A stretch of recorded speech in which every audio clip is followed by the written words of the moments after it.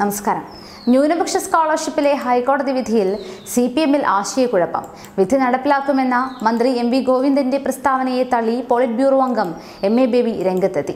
മുസ്ലിമുകൾക്ക് കൂടുതലായി അവസരം ലഭിക്കുന്നുവെന്ന പ്രചാരണം തെറ്റാണ് എന്ന് എം എ ബേബി പറഞ്ഞു.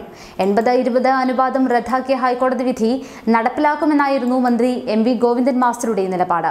എന്നാൽ ഹൈക്കോടതി വിധിയുടെ പശ്ചാത്തലത്തിൽ ഉയർന്നുവരുന്ന പ്രശ്നങ്ങൾക്ക് സമുചിതമായ പരിഹാരം സർക്കാർ കണ്ടെത്തുമെന്നാണ് പോളിറ്റ് ബ്യൂറോ അംഗം എം എ ബേബി ഫേസ്ബുക്കിൽ കുറിച്ചത്.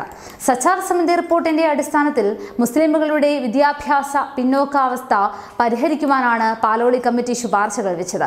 അത് നടപ്പിലാക്കിയപ്പോൾ യു ഡി എഫ് സർക്കാർ ഇരുപത് ശതമാനം പിന്നോക്ക ക്രിസ്ത്യാനികൾക്ക് കൂടി നൽകുകയായിരുന്നു. മതന്യൂനപക്ഷങ്ങൾക്ക് തുല്യമായി വിതരണം ചെയ്യേണ്ട സ്കോളർഷിപ്പുകൾ മുസ്ലിമുകൾക്ക് കൂടുതൽ നൽകുന്നു എന്ന പ്രചാരണം തെറ്റാണ്. കേരളത്തിലെ പിന്നാക്ക മുന്നാക്ക വിഭാഗങ്ങൾക്ക് വിവിധ സ്കോളർഷിപ്പുകൾ ഉണ്ടായെന്നും എം എ ബേബി പറഞ്ഞു. ഹൈക്കോടതി വിധി പഠിച്ച് ഉചിതമായ നടപടി സ്വീകരിക്കുമെന്നായിരുന്നു കഴിഞ്ഞ ദിവസം മുഖ്യമന്ത്രി പിണറായി വിജയൻ നടത്തിയ പ്രതികരണം. മുന്നണിയിലെ ഘടകകക്ഷികളായ കേരള കോൺഗ്രസ് എമ്മിനും ഐ എൻ എല്ലിനും ഇക്കാര്യത്തിൽ വ്യത്യസ്തമായ നിലപാടാണ് ഉള്ളത്. എന്നാൽ ന്യൂനപക്ഷ ക്ഷേമ പദ്ധതിയിലെ അനുപാതം റദ്ദാക്കിയ ഹൈക്കോടതി ഉത്തരവിൽ പ്രതികരിച്ചുകൊണ്ട് ജസ്റ്റിസ് കെമാൽ പാഷയും രംഗത്തെത്തി. ന്യൂനപക്ഷ വിദ്യാഭ്യാസ മേഖലയിലെ ക്ഷേമ പദ്ധതികളിൽ ഏർപ്പെടുത്തിയ എൺപത് ഇരുപത് അനുപാതമാണ് കഴിഞ്ഞ ദിവസം ഹൈക്കോടതി റദ്ദാക്കിയത്.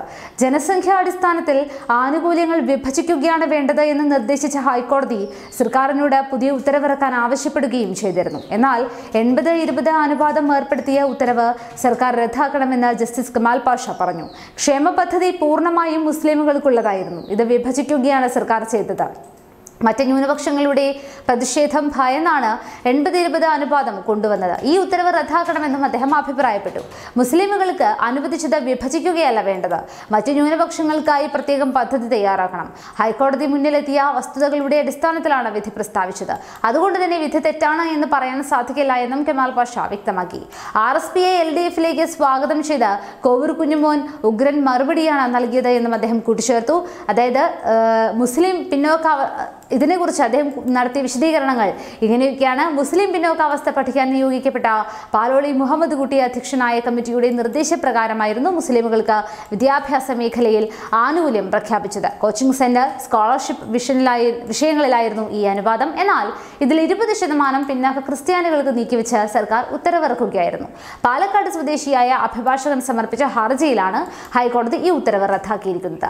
ഹൈക്കോടതി വിധിക്കെതിരെ സർക്കാർ അപ്പീൽ പോകണമെന്നാണ് മുസ്ലിം സംഘടനകളുടെ നിലപാട് ചില മുസ്ലിം സംഘടനകൾ അപ്പിൽ പോകുമെന്നും പ്രഖ്യാപിച്ചിട്ടുണ്ട്. ഇക്കാര്യത്തിൽ സർക്കാർ ഇതുവരെ തീരുമാനമെടുത്തിട്ടില്ല. സർക്കാരിന്റെ തീരുമാനം തന്നെയാണ് നിർണായകമാവുക. അതേസമയം സ്കോളർഷിപ്പ് നൽകുന്നതിൽ എൺപത് ഇരുപത് അനുപാതം റദ്ദാക്കിയ ഹൈക്കോടതി വിധി അംഗീകരിക്കണമെന്നാണ് കേന്ദ്രമന്ത്രി വി മുരളീധരൻ പറഞ്ഞത്.